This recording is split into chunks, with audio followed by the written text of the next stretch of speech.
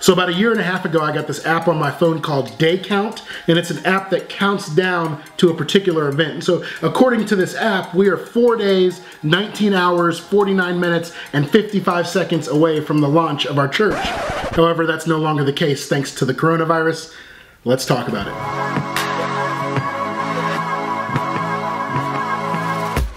Hey, what's up everybody? Welcome back to another episode on this channel. This is a new episode in the series that I'm calling Birth of a New Church, where we're tracking the process of, of launching a church that I'm engaged in, in church planting. Before I launch into this video, let me say two things. One, if you haven't already subscribed to this channel, uh, make sure you hit that subscribe button, hit the bell next to it so you can be notified when I'm posting a new video. We are so close to 2,000 subscribers. You might be number 2,000, so make sure you hit that subscribe button. And then also, if you didn't see the last video that I posted on this channel, uh, our worship leader, his name's Nick Budo, he's gonna be in this series coming up pretty soon. He's the worship leader at our church plant, and he wrote a song uh, called Psalm 91, The Almighty God, and it is absolutely amazing. If you haven't checked that out, make sure you listen to that song. Here's a sneak peek of it. Lord, you bring us to our knees.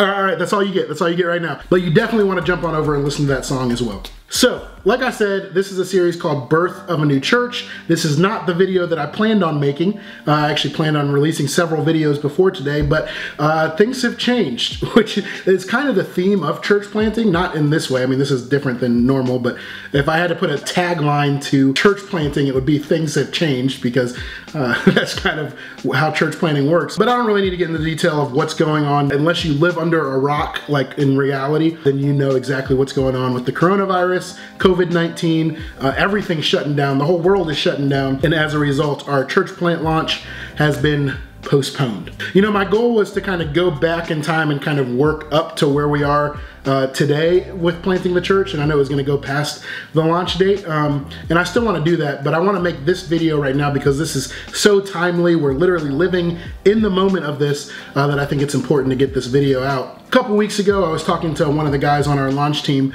and he was like, you know, maybe we should start thinking about the coronavirus and what that means for our launch. And and I listened to him, but I was kind of in the back of my mind thinking, oh, you know, no way that's going to affect the launch. I mean, we might have fewer people there than normal, but but like the launch is still going to go on. However, just to kind of walk through the timeline of how this happened, not last Wednesday, but the Wednesday before that, I believe, is when I got a call from the business administrator at the building that we were meeting in and he's like hey I hate to say this but uh, unfortunately we're shutting down the school to all outside groups uh, little did we know at that time that that wasn't just going to be us, but like the whole world would be shutting down and the schools would be shutting down. I live in Ohio. We're planting this church in Ohio, and the governor uh, first issued like no groups over 100 should be meeting. But then just a couple days ago, the governor issued a, a, stay at home or shelter at home order, which means like, even if we were gonna meet in little small groups, we shouldn't be doing that. And so obviously, again, I don't need to get into all the details. You guys know what's going on. But I just wanted to make this video just kind of to talk about how we're handling that and also talk about how we're trying to still be a light in the darkness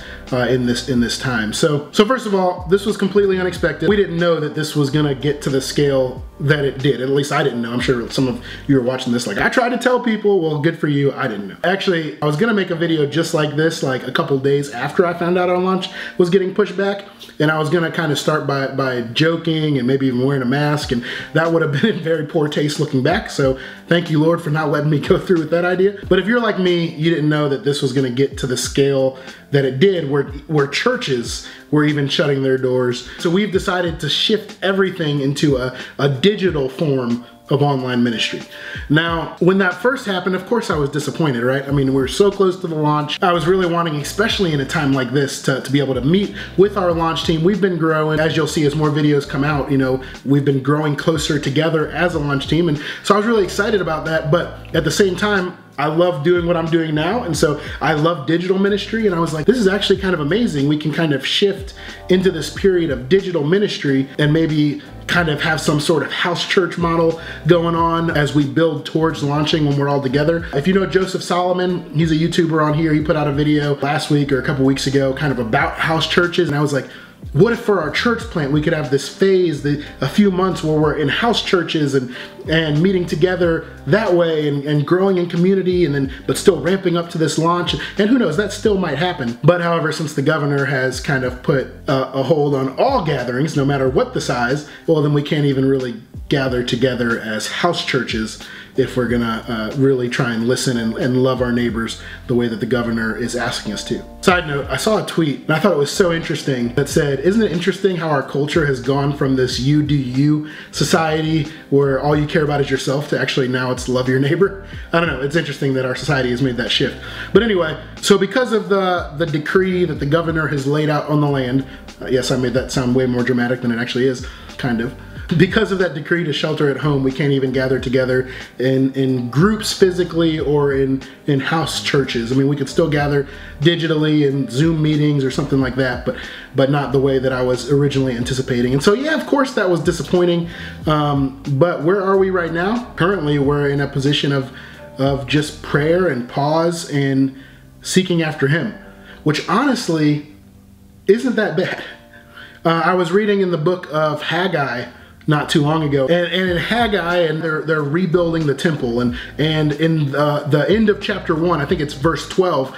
It's really interesting because the people, you see this interesting order of progression where first the people obey the Lord, and then they fear the Lord, and then and then they get this comforting uh, message from the Lord that He says, "I am with you," and then they get to work on building the temple. And not to put, not to completely uh, put ourselves in those shoes, but it's almost the same for us. Like, what if we need this period of just just trusting and listening to the Lord's message of the fact that He is with us before we get to work on, on building this church plant? That's something that I've been thinking about, and I might make another video like unrelated to the church plant, just about what this period can mean for pause and reflection and almost.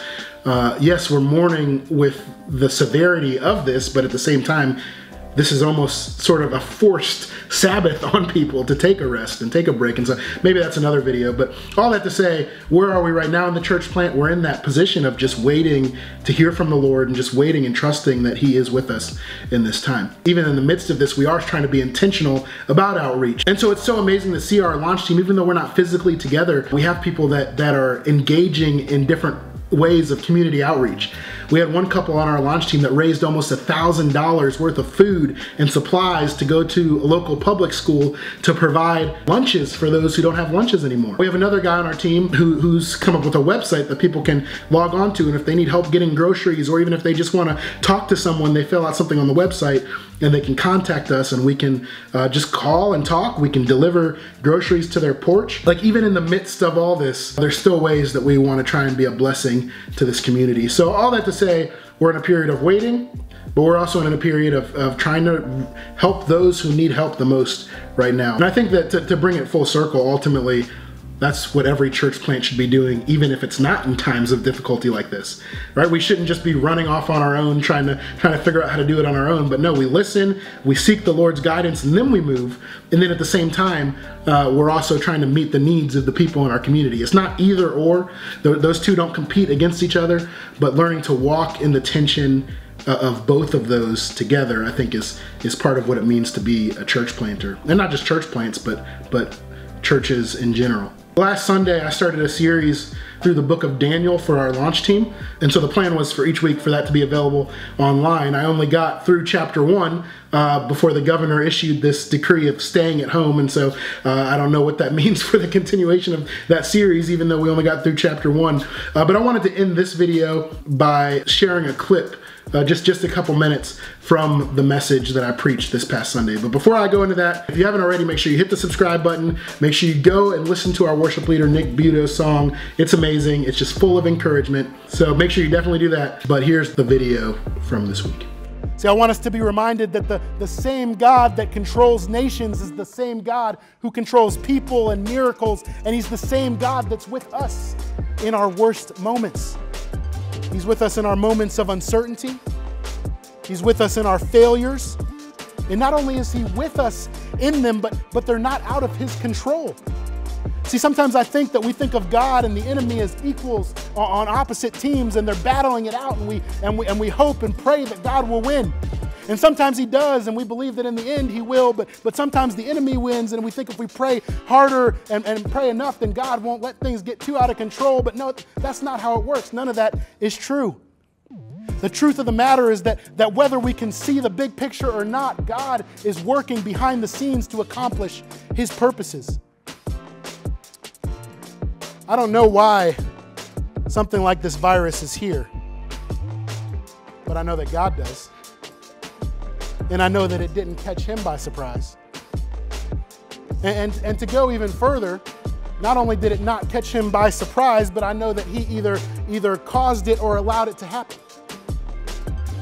I don't know why our church plant launch had to get pushed back, but I know that God does. I don't know if everyone in my biological family or if everyone in our church family is going to make it through this pandemic. I wish I could say that if you're part of our launch team or if you're listening to this message, then you'll be fine, but that's not true. The truth is, I don't know. But God does. And that truth, the truth that we know nothing, but God knows everything, that, that's the only truth that can give us hope and peace the midst of uncertainty. Jerry Bridges says it like this That which should distinguish the suffering of believers from unbelievers is the confidence that our suffering is under the control of an all powerful and all loving God. Our suffering has meaning and purpose in God's eternal plan, and He brings or allows to come into our lives only that which is for His glory and for our good.